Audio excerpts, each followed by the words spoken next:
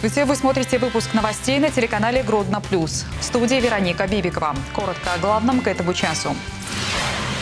Более 50 видов продукции предприятия «Цветлит» импортозамещающее. Премьер-министр Роман Головченко посетил Гродно. В стране прозвенели первые звонки, а в нашем городе открылась самая большая школа региона. Здесь будут учиться свыше двух тысяч человек. Спорт для всех и в шаговой доступности. Три новые воркаут-площадки открылись в Гродно. Что толку в книжке, если в ней картинки нет? Ко дню белорусской письменности в библиотеке в филиале номер 6 разместили работы 10 художников-иллюстраторов.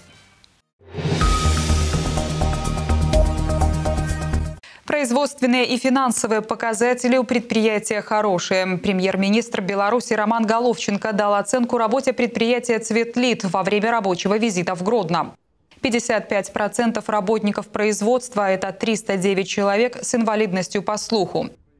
Предприятие и в целом работа общества, белорусского общества глухих дает э, не просто трудоустройство, а дает достойную зарплату и э, чувство полного интегрирования в общество для людей, которые в чем-то ограничены по своим э, возможностям. Это хороший пример вот такого компактного предприятия, которое нашло свое место на рынке. Цветлит выпускает 450 видов продукции, свыше 50 из них импортозамещающие – больше всего поставляется в Минскую область, а также Брестскую и Гродненскую.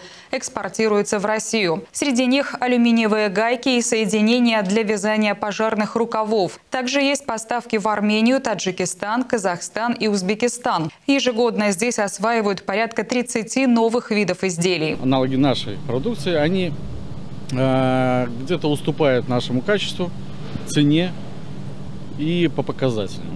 Мы провели все испытания, все сертификации сделали. И сегодня эта продукция является ну, практически эталоном. На сегодняшний день сложность у нас первая – это сырье. Для производства нашей арматуры требуется алюминий и латунь. Э, переработка алюминия у нас сегодня около 60 тонн. Э, латуни 120-150 тонн. Об этом наша просьба и была, чтобы Белцветмет поставлял наш адрес нужное количество нам сырья. День знаний отметили в Беларуси. Школы и вузы обновились, сделали ремонты, обзавелись новой техникой. Некоторые впервые приняли учеников в новых зданиях. Такая есть и в Гродно. 42-я школа самая большая в нашем регионе. Здесь будут учиться свыше двух тысяч человек. Большинство учащихся – жители развивающегося микрорайона Грандича. На линейке побывал премьер-министр Роман Головченко. Подробнее о первых звонках города расскажем в следующем сюжете. Костюм «Тройка», цветы и школьные принадлежности. Для Веры Чернявской и ее сына Тимофея это 1 сентября стало на самом деле особенным. Торжественного события семья ждала все лето. Право дать первый звонок предоставляется нашим первоклассникам.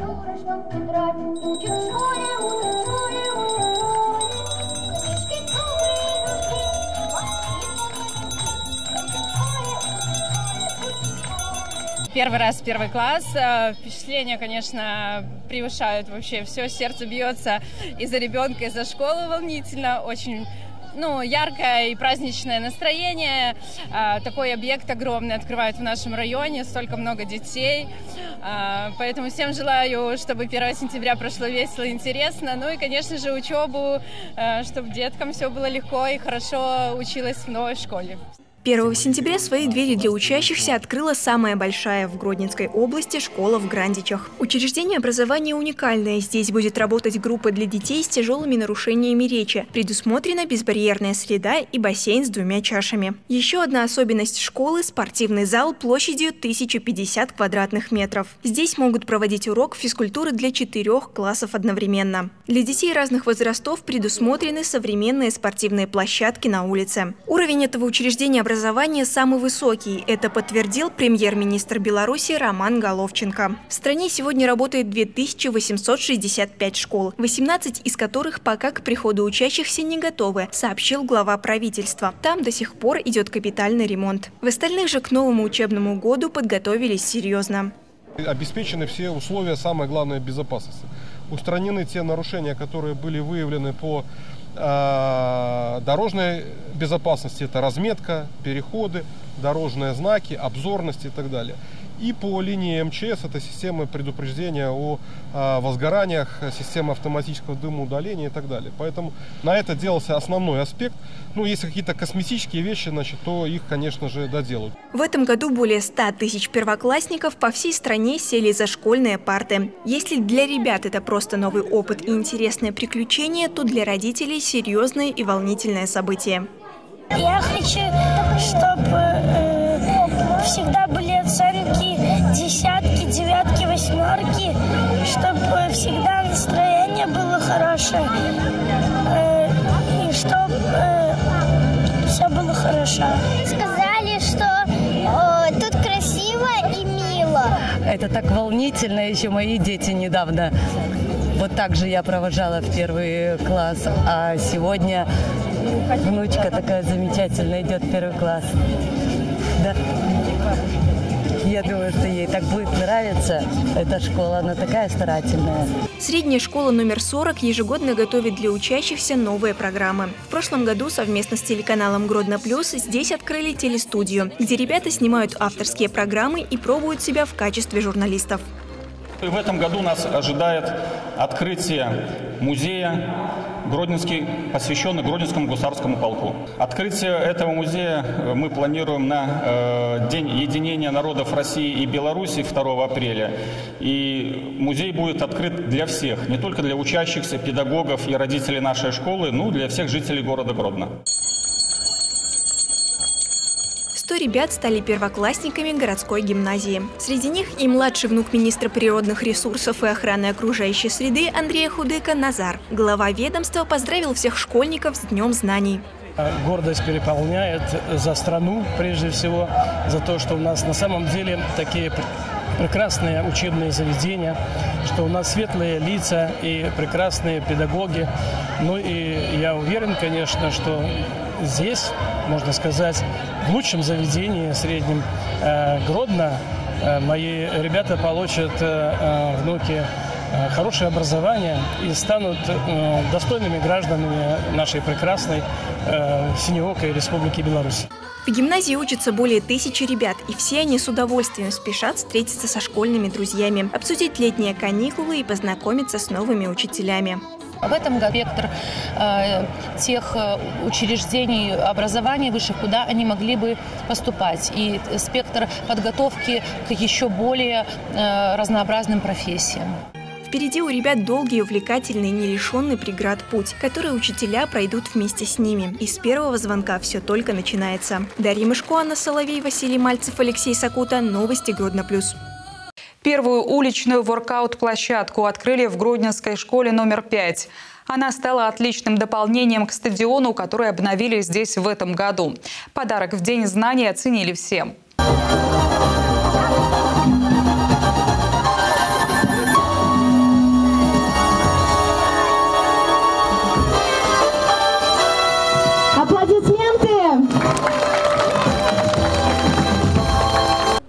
Площадка многофункциональная. Заниматься баскетболом или силовыми тренировками сможет каждый желающий.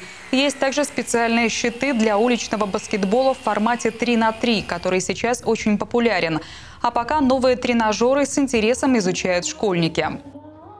Расскажите, девчонки, нравится площадка? Да, очень. А что больше всего нравится? Лазить можно. Да, Вы уже все попробовали? Да. Будете часто сюда приходить? Да, очень. С инициативой установить воркаут-площадки выступил президентский спортивный клуб. Власти города и области приняли совместное решение разместить их в учреждениях образования, которые находятся в спальных микрорайонах. Всего при школах Гродно в День знаний открыли три современные воркаут-площадки. И это только начало. Реакция школьников, она, конечно, классная. В принципе, это даже, там, скажем, мурашки по коже так бегут. Но когда в 7 утра сюда приехала машина разгружаться, увидели жители микрорайона, что идет разгрузка именно тренажеров, данных составляющих воркаутной площадки, люди вышли и сами помогли нам разгружать машины. Надежда, а вечером, когда уже было установлено, подходили и с трепетом спрашивали, можно ли позаниматься на вашей площадке, она такая классная, она современная, она удобная и В таком вот таком комплексе можно полностью заняться всеми видами спорта. Модернизируют в Гродно и старые объекты. Так заброшенный стадион на улице Лицкой футбольный клуб «Неман» преобразовал для филиала детской спортивной школы. Здесь уложили современное покрытие, появились раздевалки, освещение. Реконструкция объекта длилась полтора года. Готовность 90%. Остались последние штрихи. В целом стадион уже может принимать посетителей покрытие последнего поколения, использовать которое, то здесь можно официальные какие-то матчи проводить. Само поле футбольное 60 на 40, оно меньше формата, но именно для подготовки футболистов, для тренировочной прессы очень удачный такой вариант. Плюс а, именно вот поле такого формата 60 на 40 активно э, используется спросом именно у населения для, скажем так, для игр, для сдачи в аренду, для каких-то платных услуг. Комплекс дополнительных мероприятий, направленных на профилактику особо тяжких и тяжких преступлений против жизни и здоровья граждан, проводят в стране. Это связано с ростом таких правонарушений. Одна из таких встреч с горожанами, которые состоят на учете, прошла в РОВД Ленинского района. Это те, кто сейчас отбывает наказание, и те, кто не был судим, но попадался в поле зрения милиции за совершение административных правонарушений. Большинство из них – так называемые семейные дебаширы, отметили в РОВД. Всего порядка 40 человек. С ними работают сотрудники милиции, врачи-наркологи и другие специалисты. Разъясняют, что запрещается делать этой категорией людей, а также об ответственности за принятие пренебрежение этими правилами. Кроме того, Центр социального обслуживания населения предлагает помощь тем, кто в ней нуждается. Люди могут освободиться из мест лишения свободы, да, и на, на теперешний момент у них просто может не оказаться денег, да, на то, чтобы купить себе еду. Э, соответственно, мы объясняем, как это можно сделать, куда обратиться, как получить эти вроде бы и небольшие деньги, но вместе с тем так необходимые для граждан. Врач-психиатр-нарколог рассказал э, о э, последствиях злоупотребления спиртными напитками, также о э, том лечении, которое они проводят в отношении лиц, осужденных с применением 107 статьи Уголовного кодекса. Э, могу пояснить, что 107 статья – это принудительное лечение от алкоголизма. Кроме того, два раза в месяц осужденные могут посетить встречи, посвященные поиску работы. В прошлом году на учете как безработные состояли 432 человека, в этом 368.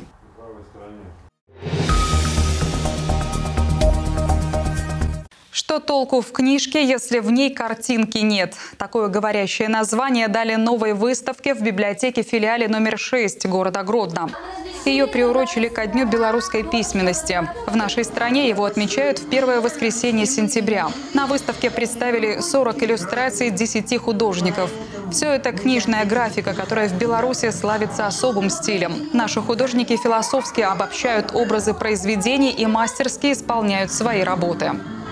У нас в основном здесь представлены, представлены белорусские художники, белорусские художники-графики, и которые иллюстрировали книги не только белорусских авторов, но и мировых.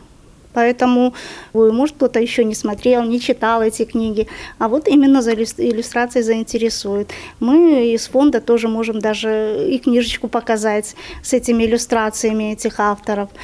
Не только Колоса, Купалу, Бородулина, Короткевича иллюстрируют белорусские художники. Посетители выставки могут оценить их видение Пушкина, Гоголя, Толстого, Линдгрен и других известных мировых писателей.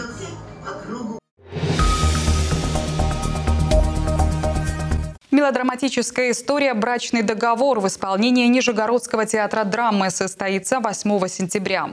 В этой семейной комедии много узнаваемых и неожиданных, пронзительных и веселых сюжетов, песен, танцев и красивой, то удивительно нежной, то хулигански зажигательной музыки. Не пропустите спектакль «Брачный договор» 8 сентября на сцене драмтеатра.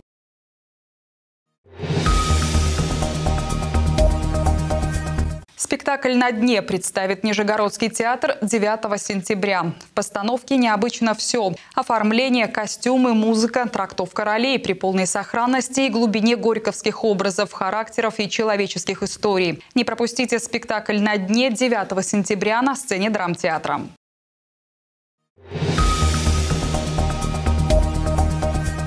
На этом выпуск завершен. Еще больше новостей вы найдете на нашем сайте grodnaplustv.by. А я прощаюсь с вами. Приятного отдыха на Гродно Плюс.